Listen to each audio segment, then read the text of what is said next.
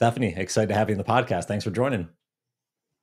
Happy to be here. Thanks for having yeah, me. I'm I'm excited to talk about your journey because and and tell me if I'm wrong on this, but I tried to do a lot of research before the podcast and you know, you said something around you got bitten by the bug to be like an entrepreneur when you mm-hmm. were at LearnVest, which I'm assuming, and maybe you're similar to me and a lot of the folks where you didn't really think about starting businesses or you kind of took the traditional path. If that's correct, and maybe if it's not, tell me I'm wrong, but can you start me out? Like tell me about tell me about early Stephany prior to that kind of aha moment, you know, back at LearnVest. Like what what was life ab- about for you? Is just a traditional path and starting a family, working a good job? Like, give me a little backdrop to that before we jump in deep. Yeah, I'll give you some color here. I don't think my background's entirely traditional, but you're right that it wasn't obvious to me that I was going to become a founder. Um, and actually, before I went to LearnVest and how I got introduced to LearnVest is that I was working um, in a financial advice company. Um, helping people enroll in their 401k plans, which is still a meaningful part of what I think about for my team at Orum and other people. Um, it's inevitable that we get older and we need money for that. And I started t- tinkering around building some software, um, like a very simple thing that we were used to relying on in this company before LearnVest stopped coming, like the CD-ROM update stopped coming in the mail. And everyone's in a panic. What are we going to do? Right? This is like a bit of time ago. And I was like, oh, hey, I, I learned how to do this math on my calculator, like this time value of money thing. How much do I need for retirement? Like, that's a, just a math question. Why don't you give me $10,000 and I'll go hire somebody and I'll build it, having no idea what that actually meant. And so, fast forward, I did actually end up building um, a piece of software for this company that I was working for. And it probably cost more than $10,000, but not a whole lot more. Um, and that's where I started to get interested in like, there are things that exist, but you could make them better. And if you just roll up your sleeves, you know, in this case, I'm working a day job and I'm also parallel pathing, you know, doing a sort of offshore project with a developer in India who I'd met on the internet. Uh, told him my idea, and he's like, "You're gonna have to send me wireframes." And I'm quickly googling, like, "What are wireframes?" Right? I think that sometimes the inception of things that drive you to become an entrepreneur aren't totally obvious, but I do think they tend to start with similar characteristics: resourcefulness, curiosity, a problem space where you feel like you can have an impact. And as the daughter of an immigrant, where I grew up in a household that, you know, often had to think about how to stretch a dollar further, I was always curious about whether or not there was a way to use technology to give amplified access to people so they could have the answers to their money questions. So it all kind of starts in that origin of just curiosity for me. And then fast forward, I um, ended up getting recruited to come in to LearnVest at a very, very early part of the company and as a financial planner was tasked with thinking about how do we take a girl blog for money which is what the business was when i started into something more and so again sort of tinkering oh i can build that in excel before we have to commit engineering resources. Let me take a stab at it. Those were the kinds of things that inspired me to continue my journey and that ultimately led to what i'm doing today at Orum where i'm thinking about payments infrastructure and what people can build in financial services on top of that infrastructure. Um, but certainly not, I think, a traditional path. And hopefully, the path forward, whatever is ahead for us, also isn't traditional because I think the fun in all of this is being able to really be a consistent lifelong learner and be passionate about where you spend your time. And I've been able to kind of bring those two things together in everything that I've been able to work mm. on. Yeah, I, lo- I, love that lifelong learner, the curiosity you mentioned.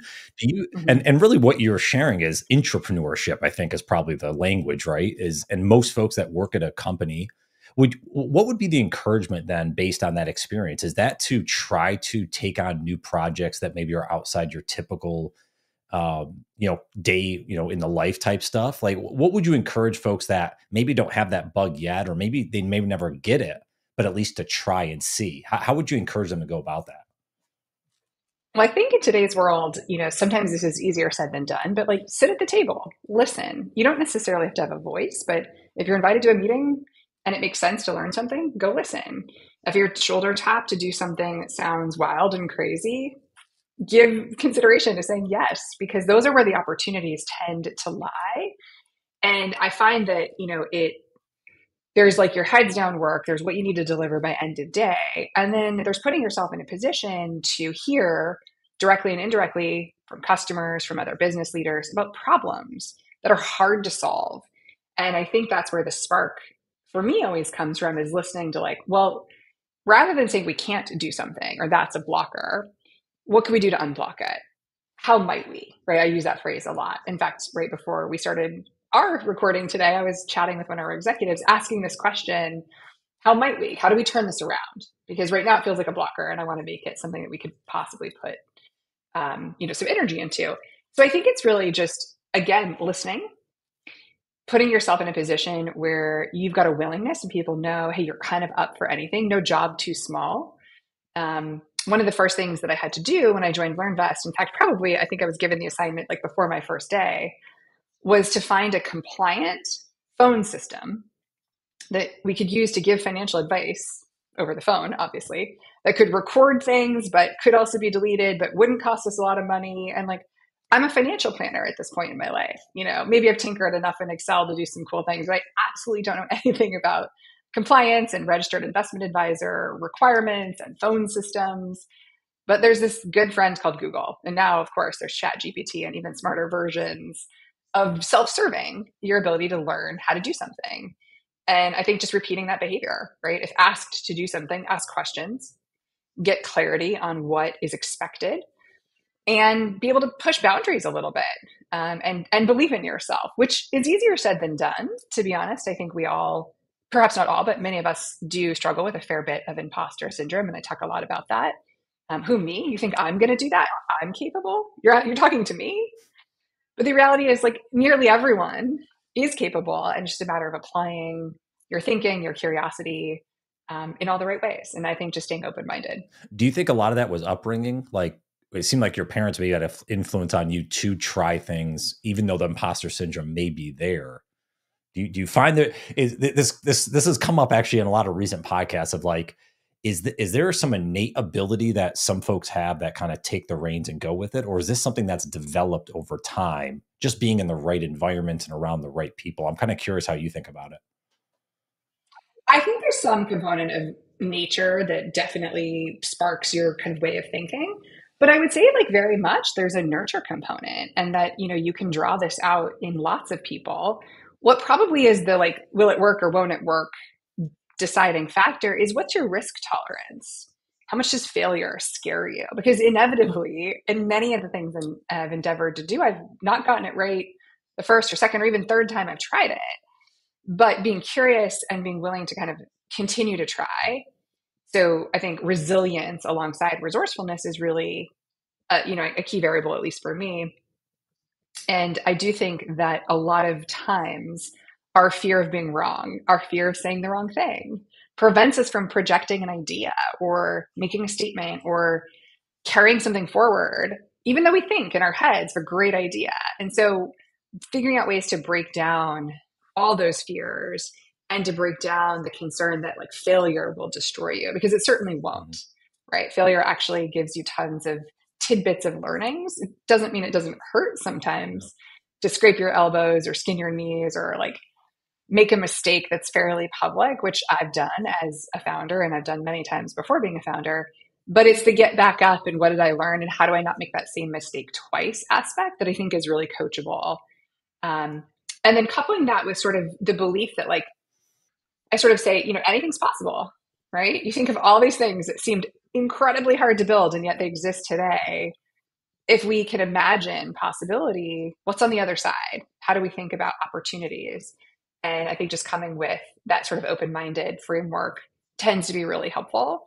Um, and i do think most people have the ability to go into this category of entrepreneur. Um, but to do it well, I think it also comes with a support system. Uh, talking to friends and family, taking care of your mental health, taking care of your physical health. So it's not just like all in on something, it's also having, you know, in my case, a very supportive and thoughtful husband who's like encouraging that I try again, having great friends who think about, you know, the upside and what you're doing. Um, and so it's not just purely, I think, up to the individual, but it's also a bit about how you build that support me- mechanism around yourself when you're endeavoring to take whatever nature nature's given you yeah.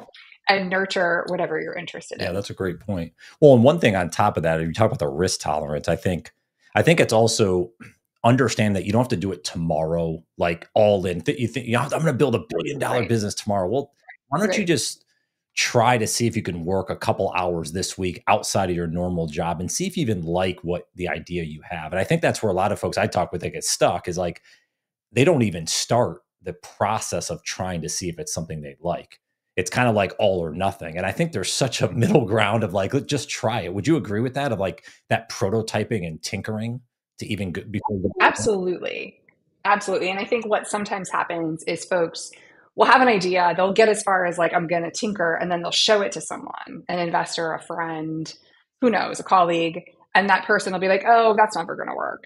And all of a sudden they mm-hmm. retreat back inside. You're right, it won't work. Put it back on the shelf. I can't even tell you the number of times people have said, oh, that can't work, right? At LearnVest, we built a category creating financial planning company. Financial advice on the internet definitely wasn't a thing you just went out and bought, but we made it viable. And today at Orum, as the simplest API for fast, reliable payments and instant bank account verification, we've again faced the hurdle of working through all the unknowns of faster payments and people saying, like, we're never going to retire our old payment system. So why even try? Right. And it is easy to hear that and think, oh gosh, let me just revert back to something safe. And the reality is, I think creating space to tinker allows you to be expansive in your thinking. And you do have, you're not going to have as many believers as you have naysayers. What I try to listen for if somebody says, that's not a great idea, or here's what I don't think works, is like, why not? What am I missing? Market size, technical answers. Like, what did you see that I didn't see? As opposed to just shutting down. And so I think, again, having the ability to think about pushing yourself a little bit um, into an area that's often uncomfortable to try to figure out what is it that I'm really hearing? Am I hearing that I'm fundamentally wrong about what I'm tinkering with? Or am I hearing that there's some tweaks I could make and then it would be on the right path. And how many people should I talk to about that idea? And just continuing to build forward. So yeah, no, I think you're absolutely right. Well, and you know, do you bring up the support systems? I mean, sometimes they're good, and sometimes you know, if it's like mom says, "Don't do this" because she doesn't want you to take the leap, that might not be the best advice either. Like, there's there might be a reason behind the "don't do it," right? So I think it's also the context of like who you actually are asking the insight and where it's coming from. I would I would think, right? Yeah, I think there's a lens to filter for sure. I remember when I was interviewing actually at LearnVest, thinking about taking the role. I lived in Southern California, LearnVest headquartered in New York. These feel like a mismatch, right? And ultimately, over a period of time, we agreed that it would work and I could work for the company and work remotely, which let's go back to like 2011 or whenever this was, close to then. That wasn't common like it is today in 2024. And certainly wasn't, we didn't have the tools even that we have now. And I remember actually speaking of parents, both of my parents being like, you're going to be lonely. You're not going to have any colleagues that you can connect with. Here's all the reasons why not to do it. And I was like, those are those are good inputs because I probably will be lonely and it will feel strange to get up at five in the morning when no one else in my local life is doing that. But here's why I think it's worth it. I'm going to give it a try and I'm going to plan for those things. And it ended up that I relocated to New York. So after a period of time, the pull to be closer to the heartbeat of the company was really high and it was 100% worth it. But if I'd listened to that one input, I definitely would be doing something different today. And so you're right, the filtering and the thinking about it. What I find is very challenging is there's what other people want you to do. And that can have a massive influence on how you decide what you want to do. If you can separate the two, most of the time I'm happiest when I've chosen something that aligns with my values and what I want to do, using some of that input to guide and maybe make decisions in the margins um, but if I'd followed what everyone else wanted me to do or what people thought I was good at, again, I definitely wouldn't be sitting in an entrepreneur seat today. I'd probably be doing something completely different. And I like the path I'm on, and I, I, I'm really proud of the ability to kind of take those inputs, but also push through and stay true to who I really am. Well, let's talk about that idea a little bit. We, have said the word idea a few times. I want to go back because if I recall, you noodled on this idea for Orum for a little while. So get what's the inception period? Like what do you remember like the day or, or year of like when this idea hit you and then when you actually took like some action to execute on it? I do. So when I think about Orum, again, we're the simplest API for fast, reliable payments. which to most people is like, what? That basically means we're like Amazon, right? Amazon gets you a package anytime you want it via FedEx, UPS, Postal Service, they're blue vans. You don't care how. You care that it's fast and reliable. Well, that's what we do for moving money in the US. Um, ACH, RTP, FedNow, wires, it's all orchestrated, right? The reason I got interested in infrastructure is because when I was delivering financial advice for a living, both in the early software days and then at LearnVest, and then post acquisition, we sold LearnVest to Northwestern Mutual. Six nine million Americans get financial advice from Northwestern Mutual and this amazing software experience we built. And a good number of them, even people with means, don't want to do something like save in a high yield savings, which right now is paying my Betterment account's paying 5%, right? Of course it's worth it to do that. But for a lot of people, it wasn't worth it because the fear that you couldn't get your money back mm-hmm. at night, on the weekends, on a holiday felt very high. So people leave trillions of dollars sitting idle in cash mm-hmm. checking accounts when they could be earning yield in a brokerage account, in a crypto wallet, in a, right. Now, this is not investment advice, but you know, broadly speaking, that was originally categorized as a behavior problem. And my theory, which is still my thinking, is that it's a flaw in the financial system. Why is it that I can only get a few hundred dollars of my own money from an ATM when the bank's not open on a Saturday? Why can't I get all of it? Why can't I move it instantly from this bank to this financial institution to get a better financial result for myself? Like, what's blocking that? And so the aha wasn't so much I should build payments infrastructure as it was peeling back the layers of this problem space and wondering, well, if it's not behavior change that we're going to try to focus on, because I don't think that's going to get us very far, convincing you why you should do something, then what else is there? Well, if in my life I could easily move my money seamlessly 24 7, 365 between any financial vehicle, I'd be a lot more inclined to put it somewhere that's good for me, knowing that if I had an emergency, I could get it back. Well, let's go look at how money moves. Oh, it's this system that's old and outdated and matches a different era. And there's a new system, but no one's using the new system. How do we bring these two worlds together? Because there's times in which you want money to move a little slower. There's risk in, you know, managing money that moves instantly, and you want the controls of reversibility and things that ACH offers. There's also times in which money moving instantly is magic. And not only instantly, but at night and on the holidays and on weekends when the banks are closed. So that's when they started to develop an interest in saying, well, if the underlying infrastructure that covers 70 now 5 trillion dollars of money moved between bank accounts is doing it without being able to modernize there's got to be a technology answer that bridges that gap and that's how the aha came for what ultimately today is Orum. Oh wow. Well, that sounds interesting. I don't, you know, half of what you said, I'm like, okay, I get it. You know, I know enough about, I guess, moving money a little bit, but how? So one, I guess that how do you start that actually go from that idea to how am I going to turn this into something? Because a lot of ideas, you know, there's an elephant graveyard of just ideas sitting out there that no one executed on. So let's start there first. And I have a few more questions of the process, but like how did you take the first step or two? Like how did you actually get it out of the, you know, out of home plate and down to the first baseline? Well, this book recommendation certainly isn't novel or new, but it is useful. So I, I highly recommend folks read Lean Startup if you've never read it or you want to reread it. It's useful because it really focuses on a very minimally viable MVP version of something that can help you test and learn quickly and iterate quickly. And in the world of software development, you know, I had the luxury of learning there were two approaches take five years, build everything, build it perfectly, launch it, and it's five years out of date, mm-hmm. which isn't great. Or build it in very small pieces, ship imperfect but workable versions of whatever you're working on, and continue to perfect it. Now, in payments, it's a little bit harder to do that. In a consumer product, it's a little bit easier because consumers are willing to accept more narrow solutions or services. The margin for failure in uh, payments business is zero, right? So we did have to spend more time initially thinking about how to stand up the infrastructure. So what I did is I sort of zoomed out and said, what's minimally viable? Where do we start? And what we decided to start with, which is controversial, was an instant payment, an RTP. Mm. Now, at the time that we were raising capital and getting started with our build, instant payments was heard of.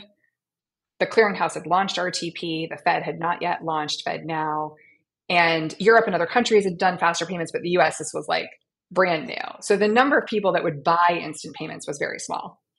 But we found a couple of use cases where time to money really mattered to the end recipient of the payment. And we said, before we launch anything else, let's launch this narrow thing and prove value around time to money. Does it matter that you can get money faster, that you can get money instantly, that you can get money around the clock? The answer was yes. And then we tacked on other forms of payments. And now we have a fully orchestrated API that can handle any type of bank transfer that you want to do in the US at any time of day for any amount of money. But the first version of that was narrow and it required thinking through a financial partner because Orum's not a bank. We don't want to be a bank. We want to work with financial partners.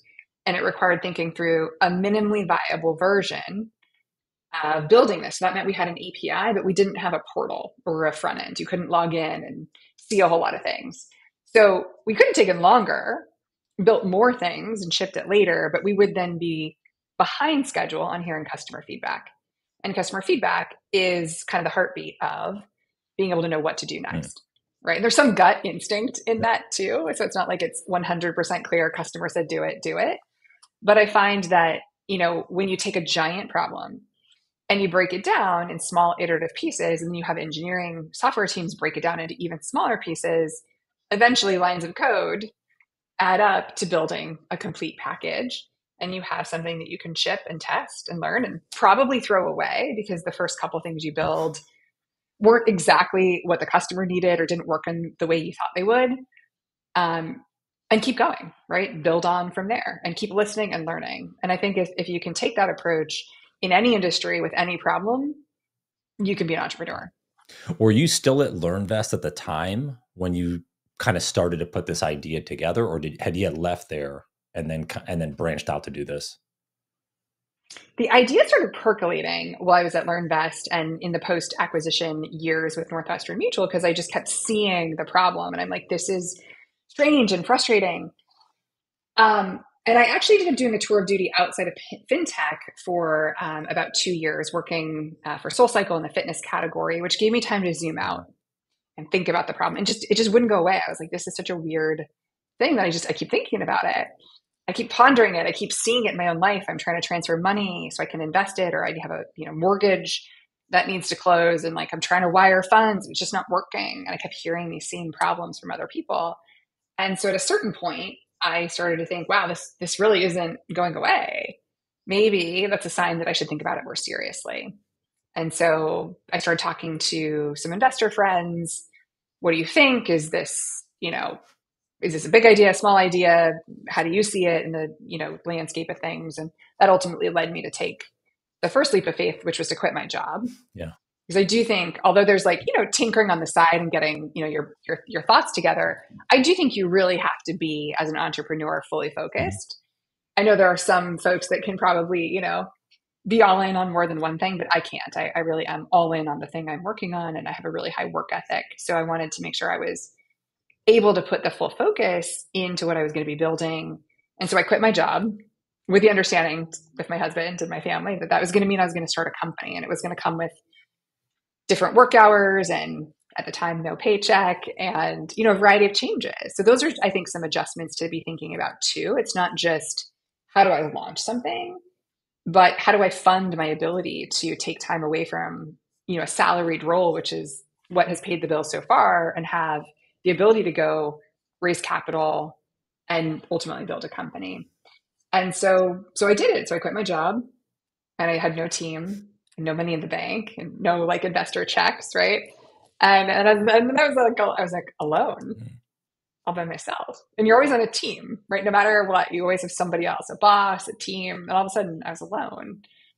And I think that's when perhaps a lot of people go, "Oh shoot, back up a second. Maybe I shouldn't be doing this," because it can be a pretty isolating and daunting experience. But I think it's also passion that drives us as entrepreneurs and I was like, blank piece of paper. What do I need to write down today? Mm.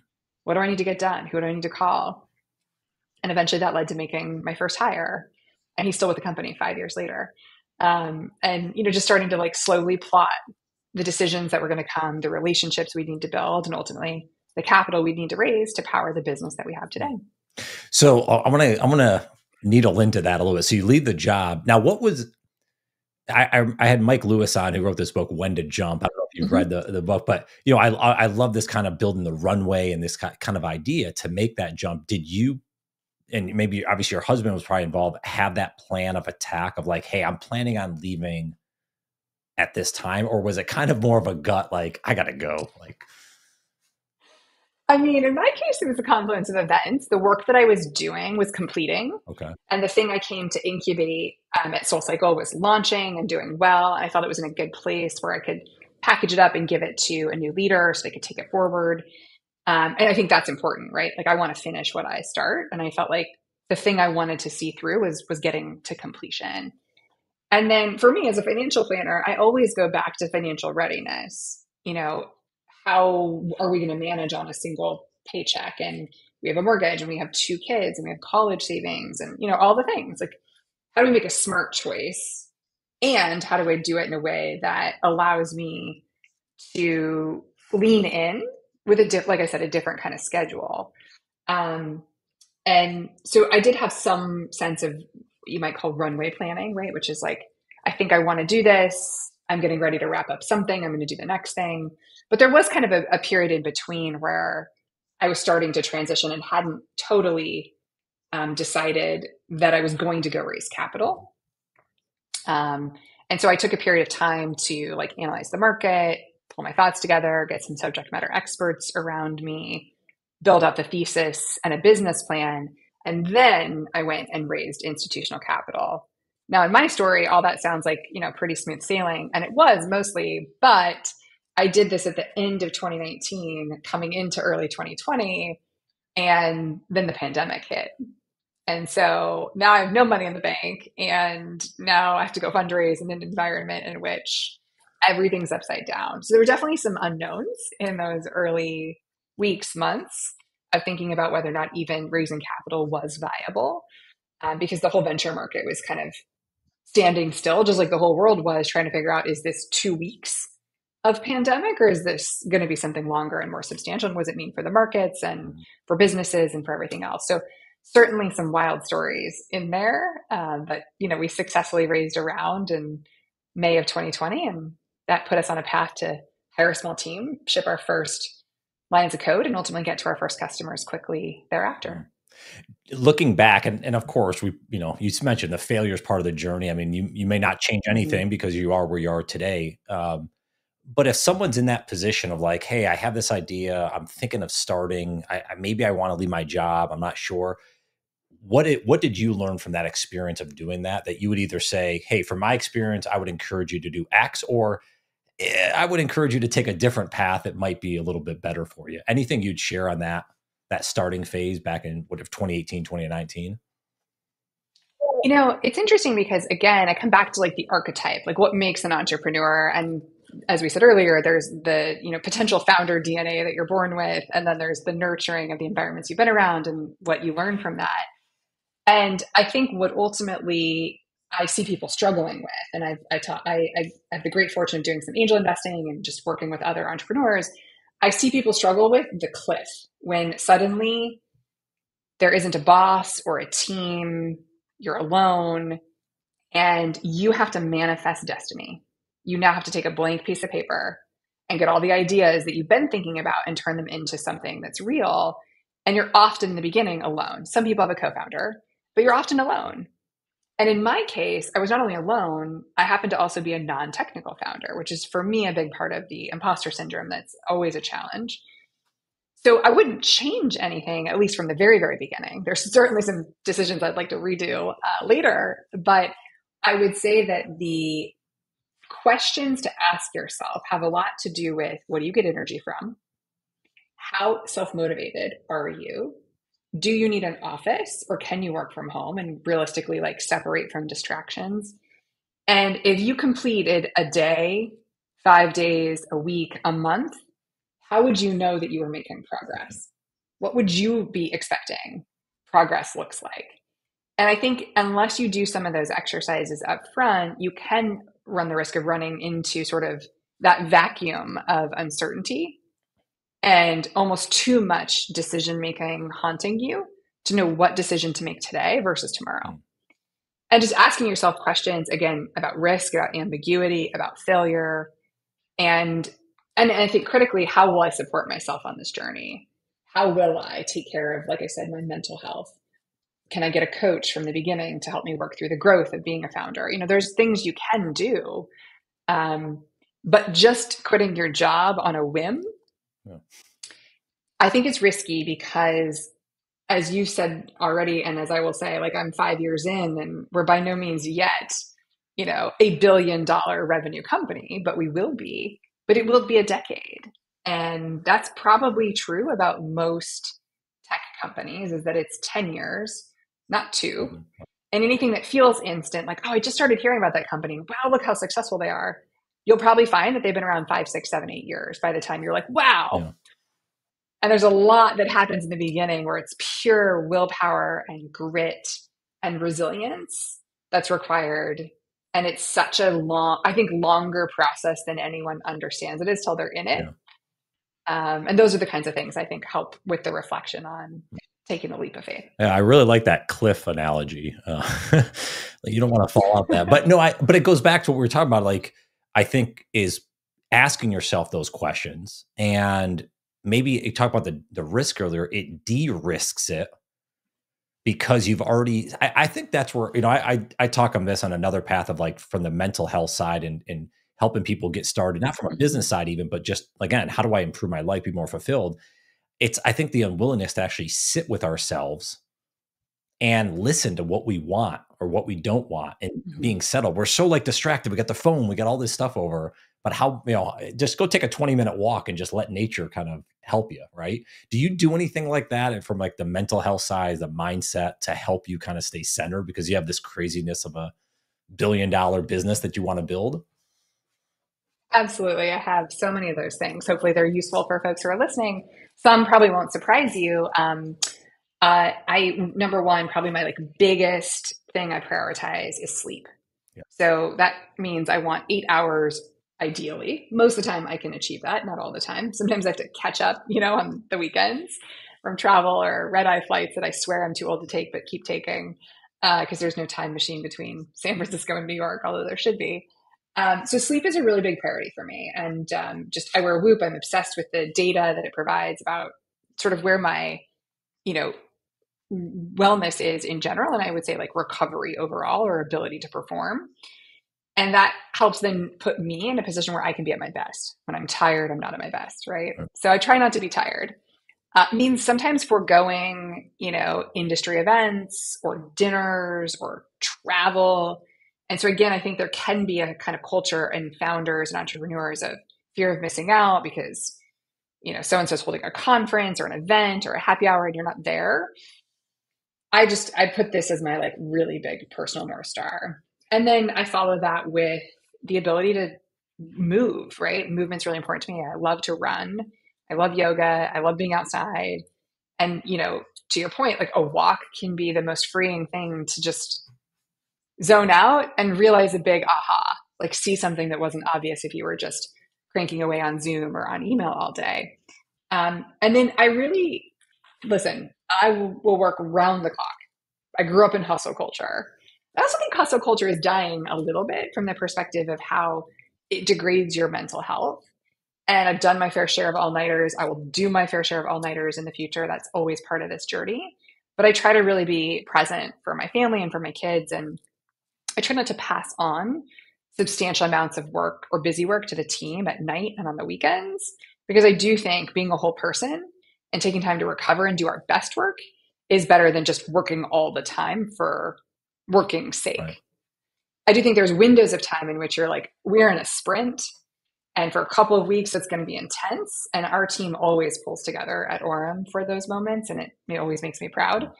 And there's a time to say, like, take a vacation, take time off, rest, relax, and like take care of yourself because burnout would destroy all the power and passion that's living inside of all of us entrepreneurs to build big things. Mm. And I think that's where you know, it's kind of a delicate thing and, and, and sort of hard to thread the needle sometimes when the demands are high and investors have big expectations. You don't want to let anyone down. Um, so those things come to mind. And the last thing is that's super important to me is I work with a coach. I work with somebody who's a startup coach specifically, um, who only works with founders and operators who are in venture-backed companies or building their own businesses. And if I could change one thing about the beginning, I would have found a coach earlier. Oh, okay. Um, we started working together a number of years into the journey. And I think I would have developed faster as a founder and CEO, managed better in all regards, and cultivated better decision making criteria for the myriad decisions you have to make in a, a more aligned way than just like bumping around in the dark, which is what I did for the first couple of years. Yeah, yeah, coaching uh, absolutely important if you can find even even if you you know some people can't afford a coach or maybe can't find even a mentor, someone that you can lean on. I think a little bit to give some outside perspective. Um, you mentioned something that's really interesting. Actually, I think is important is is kind of this what you try to do from your family and try to you know from the uh, health and wellness and all that. You know, you start out as a founder alone, but when you build this company like it's really built on your like how you live because if yeah if you're sending text messages a team at you know 6 p.m on a saturday night and expecting them to respond that's going to bleed over to the culture not a good thing i don't think you know but if you're saying hey we're doing you know this that and the other to i want you to work hard when you're here but go go take mm-hmm. time if your kid's graduating from high school take the day off. Like you know, go be there. there. Yeah, so absolutely. How, yeah. I, I, guess I mean, maybe this is a good transition. Like, how did you think about like, oh shit, I got to actually build a team. It's not just me. Mm-hmm. Like, how did you think about going into that? I think in this case, being a little bit older and having kids already probably changed the profile of how I showed up. And there was a time in my life when I could work seven days a week, and I suppose I still could, but then who would raise my children right? Um, and so i think there's some just aspects of like age and time and I, you know i became a founder later than a lot of founders which actually in itself is sometimes isolating. Like lots of people are like 25 i'm in my 40s um, but hopefully that just means i have wisdom right, right. that has accumulated right, right? Um, and I, I do think like just really consciously i thought about like work environments where i loved working and work environments where I worked, but it was stressful and trying to pick my way through like what was the characteristics of what made great teams and great work. And in today's technology world, there are so many ways to be able to optimize when you want to work versus when others want to work. For example, sometimes I have a morning to myself and I just have stuff I want to clear off my plate and I'm going to get in my inbox and go through Slack, but I can schedule everything to go out Monday morning. So unless it's absolutely essential, even if I send you an email and it says like not urgent, if the CEO sends an email on Saturday, you're going to reply. Mm-hmm. So I just try not to do that. It doesn't mean I don't think about those things or get stuff done, but I try to think about the mechanisms for like when is this information relevant to the other party? Am I blocking anyone if I schedule it for Monday? The answer is no. Then like let's just move it so that I get my plate cleared when I feel like it, but I'm not putting other work mm-hmm on other people at a time in which it doesn't make sense. We run a remote company as a result of the pandemic. Um, it's been largely a really great experience. There's times in which, of course, we wish we could just snap our fingers and pull everyone together. And uh, we, we do sometimes get together as a team, but in a remote world, we also have to think about what time zone is it? My 9 p.m. when my kids go to sleep and I'm like catching back up is somebody else's dinner time. And I had the privilege of having dinner offline. So like I don't want to be able I don't want to have people not be able to have that same opportunity just because they live in a different time zone. So we've created a philosophy at Orum about remote work and specifically about communications. And we're a synchronous company, even though we're remote. So people overlap on specific hours, which then ensures a little bit more predictability about when we need you, what needs to get done, when you're expected to work and what is off hours. If we need you for an incident or an urgent issue, we know how to call on people and get them, you know, sort of on Slack or online or whatever the case may be. Um, but I do think it's really important and it does start at the top. I can say words like, you know, take time and take PTO. If I go on vacation and all I do is work, right. the team sees that. Right. right. And so I I did I have my fair share of times where I'm out of office and checking in, but I also have my fair share of times where I'm truly taking a break. And I think that's good for me and it's good for the company. it also allows others to step up. When I'm not there, there are proxies for the things I do, and those people get to take on higher level experiences and get more exposure and do things that grow their careers as well. And I, so I think it's it's sort of net benefit to everybody. Um, yeah when we structure it like this. Yeah, I love that. Well, and it, it goes back to like a level of trust that you're building as well. Like, hey, you can mm-hmm. take on this role. I believe in you. Like, go try it versus the micromanagey stuff of, you know, kind of making sure, hey, are you are you doing this one little thing? It's like, dude, just let people be human and you know be adults. I think if you get out of the way, most people will do good work. It's the the managers, right. and I've had a lot of these. Maybe you have of like very in your face, like, did you check this one box? And it's like that's not motivating work at all. I, don't know why people do that. I mean, I know why people do it. I don't know why know they do it. I think people do that because they're worried about themselves. Yeah.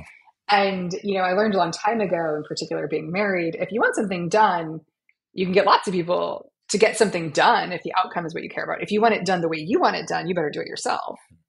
And I think that's where managers can get mixed up, which is cultivating employees' abilities to do great work doesn't mean they should do it the way you would have done it and maybe they will do it similar to how you would have done it. Um, but they might arrive at as good of or even better an outcome or output if they know what the destination is and they have to figure out the journey and you're there to guide that versus to your point telling you step by step. Now at some entry level roles a little more step by step guidance is necessary but i sort of go back to the philosophy it's a revolving door decision. 99% of things can be decided again, changed later, fixed and made better. And I try to think about, you know, in the interest of time, let's make decisions where maybe we're only 80% certain and we don't have the remaining 20% of information we'd really like to have. But as a CEO, making decisions fast and moving on is more important than being right all the time. And that is something that I trend I really think about and I try to pass on to others as we think about like just keep moving, keep going. And if we need to iterate on a vendor we've chosen or a software decision or any number of things, 99% of that we can do again later. And we should just get to the first decision now. You know, there's a lot of threads here. We won't have time to go into parenting, but like there's a lot of threads. but like I think I don't know how old your kids are. I have a 12 year old, but like trying to get him. I, this was took me the longest time to say, "Hey, bud, I'm you know whatever it is. Like I actually got him to start cleaning his bathroom now, which is the most amazing thing ever. Oh, wow. I know. Oh, wow. Like even dishes or whatever. But it's like I I had to let the ego aside and say, hey, bud, if you're gonna you do it, and I had to step away and be like, it doesn't matter how he does it. It's that he is right. actually doing the the action. Yes. And eventually we can coach him and do whatever. But it, I think that's the biggest yes. thing because it's a parallel to parenting where a lot of times it's like do this and then it's never good enough. It's like no, no, let him do it how he wants to do it. I don't know if you think about that with parenting as well, but all the time. I will admit though, the one thing that I always have to control is how the dishwasher gets loaded. That's my like weak spot. but you're right. And you know, kids grow up to become people who join teams, who become leaders, who become and so like the earlier we can cultivate this sense of like it doesn't have to be perfect and there's ways to make it incrementally better and like just do it and try it. I think it's one of those things that probably I was innately exposed to and didn't even realize that allowed me to develop some of my sense of certainty and surety that like I could figure stuff out. Mm. And sometimes that like, how am I going to figure it out moment, whether it's kids or it's adults in their work life, that's actually where a lot of the magic comes from. Being told what to do means you don't get a whole heck of a lot of creativity. Being asked to give an outcome and figure out how to you're going to do that, that's where I think we unlock human potential. Oh, yeah, absolutely. I love that. Well, so it's been an awesome conversation. Let's end on this. I'm curious your thoughts. Um, you know, I used to ask a lot, and I still do from time to time, like, hey, what's your best advice? Someone getting started. What I find more fun now is for you to pose a question or a challenge, something that where someone can have they have to take action to get started. They can't just ruminate. Mm. I'm kind of curious at throwing that back to you. Like, is there is there a question and a, a, a challenge for people that are in this kind of I don't know if I want to start. I have this idea how would you encourage them to get started and kind of go on the new would you be willing to send a survey to 100 people in your network and ask them to fill it out to validate some aspect of the experience you want to build if the answer is no you wouldn't go to your friends your network your colleagues then i think you should go back and reevaluate Wow. Okay, I like that. What would you What would you put in the survey? Just like a question, a, a few questions. Like, what, what would be like one question you'd put in? Well, it depends on what you're thinking about building, but I think putting yourself out there to bravely say, I'm going to build a company. I'm looking for input on these three things. Um, and I need five more people from your network to help me fill it out. Can you pass it on? What that does, I think it demonstrates kind of the key things about an entrepreneur. Asking for help, being vulnerable, taking customer feedback, and asking other people to pay it forward so you can get to people you can't access because most, most things are about network effects and or about distribution. Because as an entrepreneur and ultimately a founder and ceo you have to do those things all the time.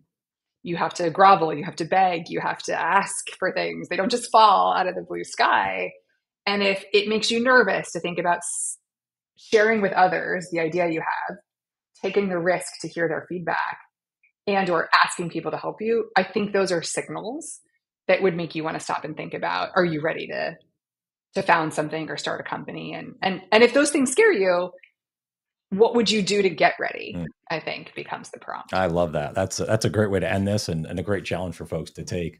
Uh Sevi, where do you spend anywhere online? Where can people say hello to you come find me on linkedin or check us out at orum.io we'd love to chat Awesome. Sevi, thank you so much for being on. This was a pleasure. I appreciate it. My pleasure. Thanks.